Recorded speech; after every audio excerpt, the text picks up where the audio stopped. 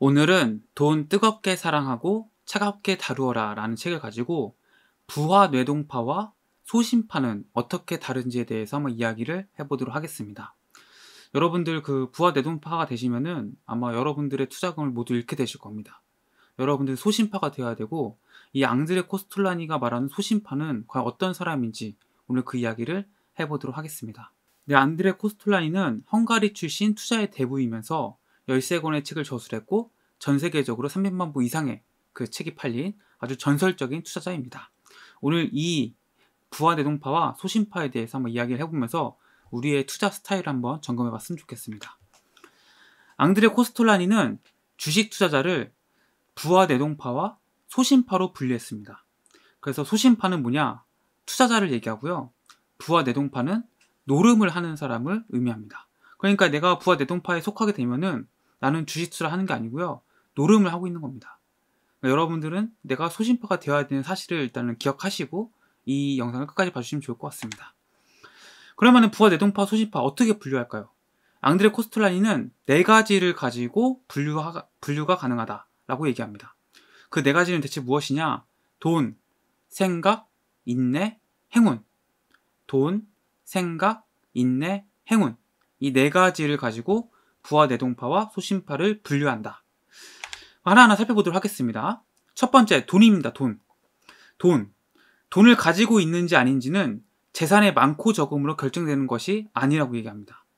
온전한 자기 돈을 가지고 부채가 없을 때 그때야말로 돈이 있다고 말할 수 있다고 얘기해요. 예를 들어서 1만 마르크의 재산이 있는데 그중 증권은 5천 마르크 뿐이고 빚이 없다. 그러면은 그 사람은 돈이 있는 겁니다. 반대로 1억 마르크가 있는데 1억 마르크 엄청나게 큰 돈이죠. 1억 마르크가 있는데 2억 마르크의 주식을 샀다. 그러면 이 사람은 뭐 자산적인 면에서 많을지 몰라도 돈이 없다라고 앙드레 코스톨라니는 이야기합니다. 왜 그렇게 얘기하느냐? 이거는 이제 앙드레 코스톨라니의 경험 때문인데요. 자신이 직접 경험한 것입니다. 1950년대 뉴욕 증시는 상승 국면을 타고 있었다고 합니다. 그래서 앙드레 코스톨라니도 컴퓨터 부분이 좀 되게 유망해 보여서 신용으로 컴퓨터 부분의 주식을 삽니다. 그리고 이제 아이젠하워가 당선될 것으로 이제 시장이 예측을 하고 있었는데 갑자기 아이젠하워가 심장마비에 심장마비가 오게 됩니다.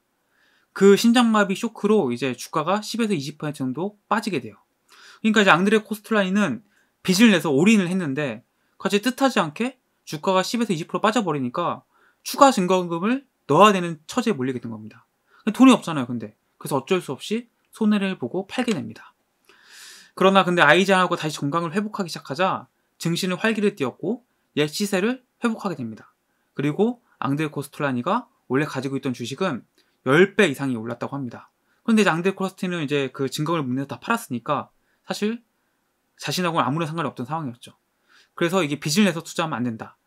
내가 정말 갖고 있는 돈만이 이제 내 돈이지 이것을 뭐 무리하게 그 이상의 돈을 가지고 주식 투자하게 되면은 그거는 내 돈이 아니기 때문에 결코 그 사람이 돈이 있다고 얘기할 수 없다라는 겁니다. 또 1962년에 이것과 비슷한 경험을 하게 됩니다. 이때 당시 알제리는 전쟁 중이었는데 프랑스 드골 대통령은 알제리를 해방시키고자 했습니다. 그런 이제 반대 여론에 밀려서 이러지도 저러지도 못했는데요. 그때 이제 이 드골 대통령에 대한 쿠데타가 일어납니다. 국가 위기 사태가 오니까 당연히 증시는 폭락하게 되겠죠. 그런데 이제 앙드레 코스텔라니가 지난번과 달랐던 것은 이번에는 빚을 내서 주식을 하지 않았던 겁니다. 내가 가진 돈만 가지고 주식을 했던 거죠. 결과적으로 쿠데타를 일으킨 4명의 장군들은 후에 항복을 했고 결국 증시는 다시 회복하게 되었다는 겁니다. 그래서 이 두 번의 경험을 통해서 앙드레 코스툴라니는 절대 빚내서 투자만 안 된다라는 말을 우리에게 하고 있습니다. 그래서 내가 진짜 갖고 있는 돈만이 내 돈이지 내 거 이상의 그 돈을 가지고 투자를 해가지고 그것이 내 거, 내 자산이냐 착각하면은 안 된다라는 거예요. 두 번째, 생각입니다. 생각.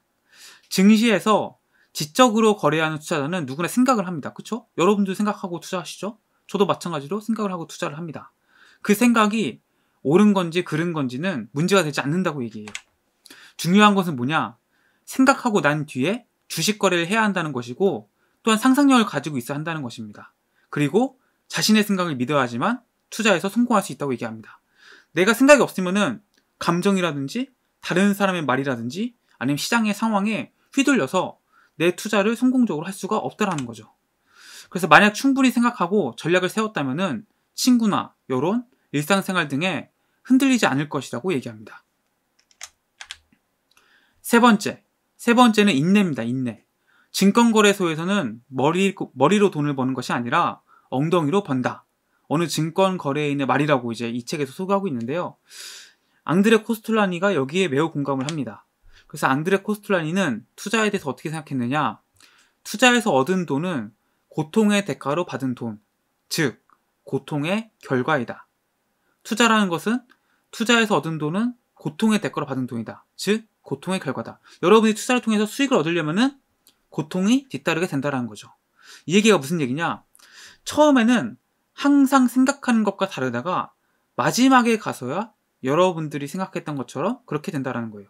누구나 처음에 주식 투자할 때 어떻게 생각하죠?